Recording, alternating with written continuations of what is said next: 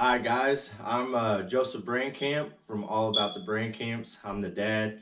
Uh, today we're going to go over my love-hate relationship with uh, coronavirus. So we'll start off with the easy part, the hate. It's a virus, it's killed some people, it's a bad thing. You know, it's turned into a pandemic, it's all around the world. So that's a bad, very, very bad thing.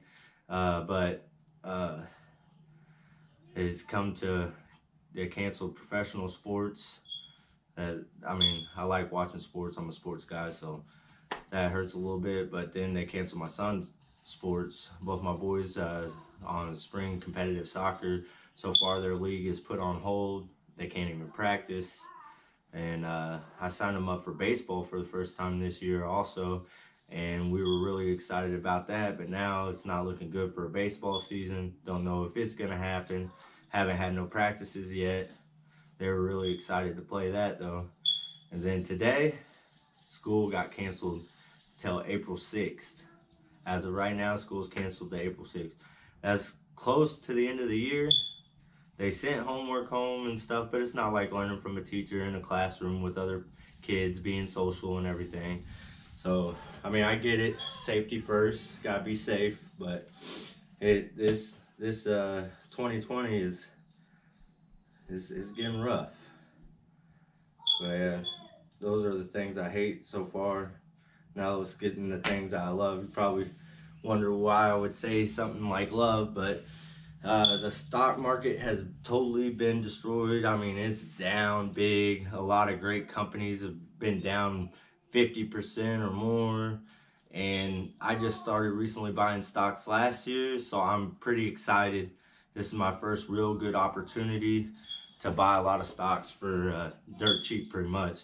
And uh, I, have learned of the words of Warren Buffett: buy while everybody else is selling, and sell while everybody else is buying. So I've been buying as much as I can right now. I'm trying to load up, uh, build me some nice positions, and uh, I buy all dividend stocks. So those dividend uh, uh, percentages are really high right now and I reinvest my dividends so the dividends uh, pretty much free money passive income so my free money will start making me more free money. But and the the gym was pretty empty today.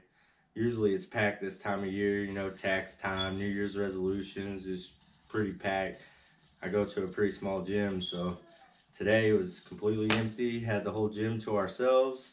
Got to do our workouts how we wanted, when we wanted. Knocked it out real quick, so that was nice. But I just I don't like this pandemic. It's uh it's uh, changing our whole lives.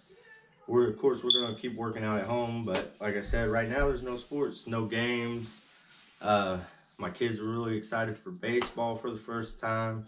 Ellie softball, of course. She always reminds me it's not baseball, it's softball.